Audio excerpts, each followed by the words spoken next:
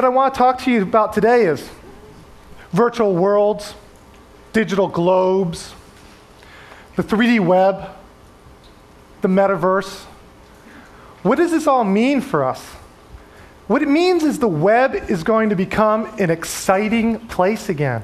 It's going to become super exciting as we transform to this highly immersive and interactive world with graphics computing power, low latencies.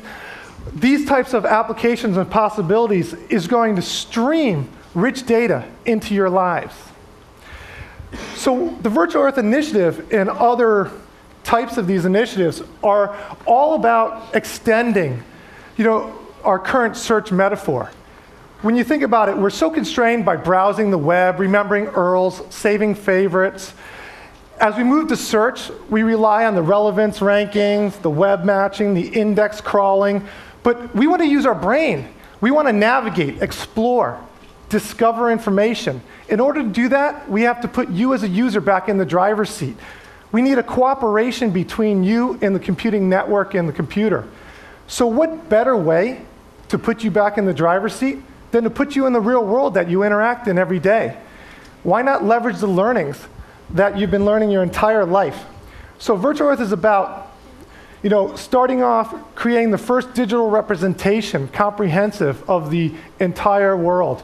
What we want to do is mix in all types of data tag it, attribute it, metadata, get the community to add local depth, global perspective, local knowledge. So when you think about this problem, what an enormous undertaking. You know, where do you begin? Well, we collect data from satellites, from airplanes, from ground vehicles, from people. This process is, you know, it's both an engineering problem, a mechanical problem, a logistical problem, an operational problem. Here is an example of our aerial camera. This is panchromatic. It's actually four color cones in addition. It's multispectral. We collect four gigabits per second of data. If you can imagine that kind of data stream coming down, that's equivalent to a constellation of 12 satellites at highest res capacity. We fly these airplanes at 5,000 feet in the air. You can see the camera on the front. We collect multiple viewpoints, vantage points, angles, textures. We bring all that data back in. We sit here, you know, thinking about the ground vehicles, the human scale. What do you see in person? We need to capture that up close to establish that what it's like type experience.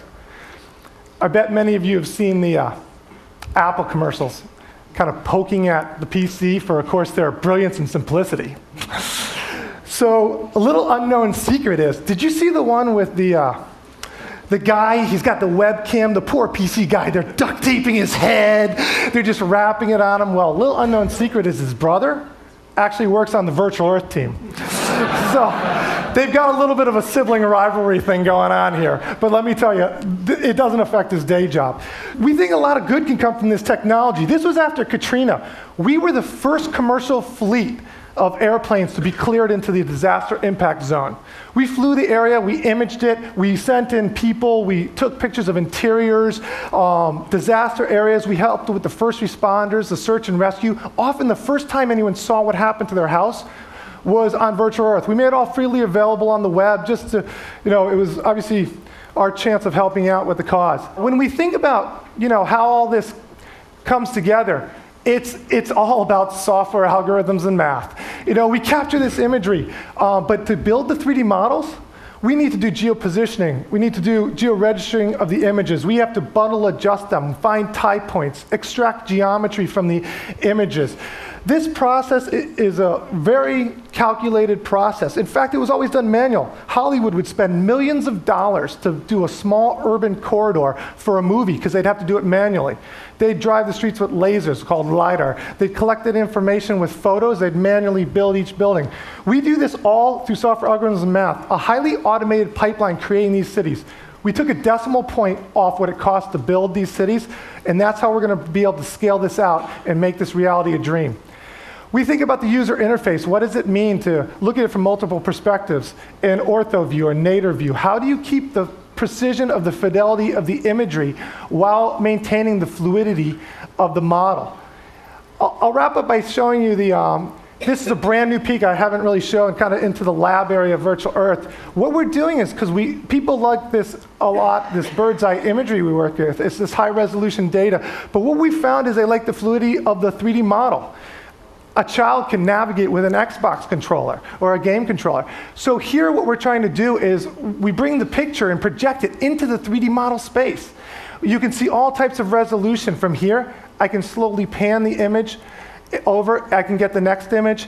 I can blend and transition. By doing this, I don't lose the original detail. In fact, I might be recording history, the freshness, the capacity. I can turn this image. I can look at it from multiple viewpoints and angles. What we're trying to do is build a virtual world. We hope that we can make computing a user model you're familiar with and really drive insights from you from all different directions. I thank you very much for your time.